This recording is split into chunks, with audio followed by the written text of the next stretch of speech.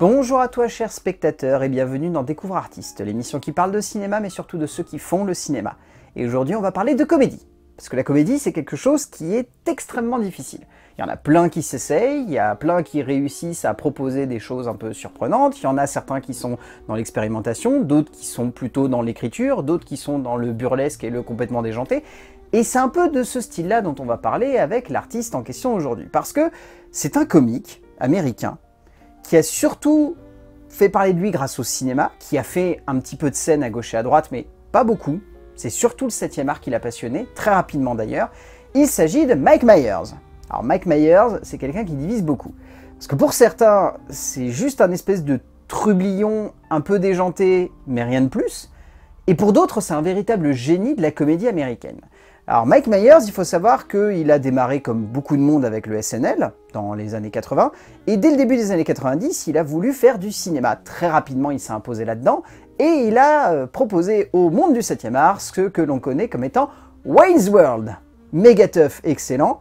Bon là, je pense que j'ai pas besoin de vous parler de Wayne's World parce que vous devez connaître et vous connaissez le succès que ça a rencontré auprès du grand public. Il y a eu une suite, et ensuite, et c'est là moi que j'ai vraiment découvert Mike Myers, parce que j'ai pas découvert avec Wayne's j'ai d'abord découvert avec Austin Powers, qui est une tuerie, qui est clairement l'une des trilogies les plus fun du 7e art, et personnellement je fais partie de ceux qui attendent avec une impatience totale l'idée qu'un jour Mike Myers retrouve un petit peu le succès auprès du grand public et puisse faire son fameux Austin Powers 4, parce que je sais qu'il est là, il l'a jamais caché, il l'a jamais démenti, il a un Austin Powers 4 qui est prêt, mais il l'a jamais fait. Personnellement, moi je fais partie de ceux qui considèrent que Austin Powers 1 est bien, Austin Powers 2 est vraiment bien, Austin Powers 3 est extrêmement bien. Pour moi, c'est l'une des rares sagas de cinéma qui n'a fait que grimper en qualité au fur et à mesure de ses épisodes. Et c'est rare d'avoir un troisième volet d'une saga qui soit meilleur que le deuxième et meilleur que le premier.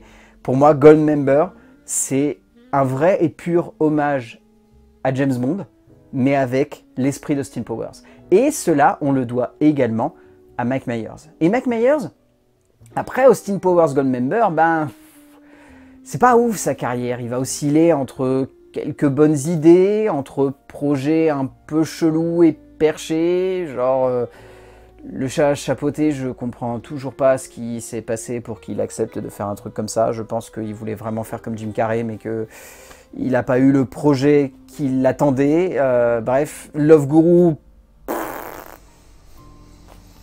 Voilà, je, pareil, je sais pas ce qui s'est passé. En fait, c'est mon gros problème avec Mike Myers, c'est que je trouve qu'il y a des films dans lesquels il a joué qui sont vraiment des pures tueries. Moi, j'adore par exemple le caméo qu'il fait dans Inglourious Bastards. Enfin, le rôle lui va à merveille et lui, il est extrêmement doué et talentueux et du coup, il rend ce personnage marquant.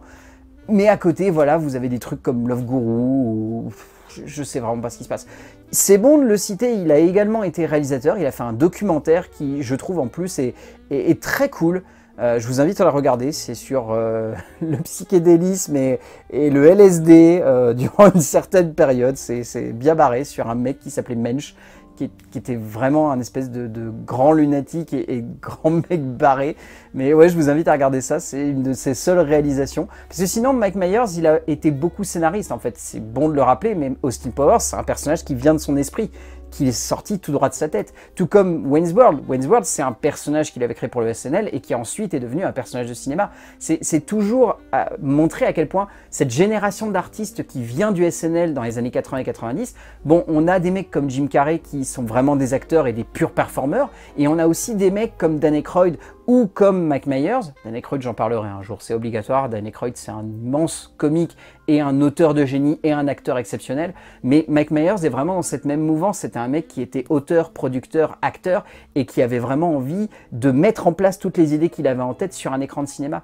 Et Austin Powers, pour moi, c'est l'aboutissement de ça. C'est un personnage que non seulement il rend extrêmement juste, c'est un personnage qui rend fun, c'est un personnage qui rend cool, et en plus, c'est des films qui sont purement et simplement géniaux. C'est des films qui comprennent non seulement l'univers de James Bond, mais qui surtout arrivent à le parodier avec une justesse d'esprit et une clarté de comédie qui fait que devant, on est en train de jubiler et on s'éclate. Les Austin Powers, pour moi, c'est des tueries. Si vous avez jamais vu les Austin Powers, foncez regarder ça déjà.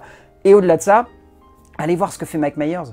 Il y a beaucoup de choses. Il y a des trucs nuls, il y a des trucs excellents, il y a des trucs moyens.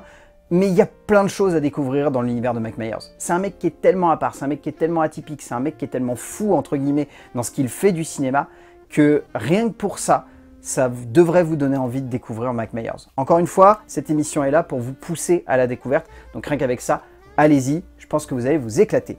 Et d'ici là, n'oubliez pas ce que je vous dis à chaque fois à la fin de cette émission, qu'on se retrouve la semaine prochaine pour parler d'un nouvel artiste, mais surtout découvrir ce qu'il a à nous dire du cinéma.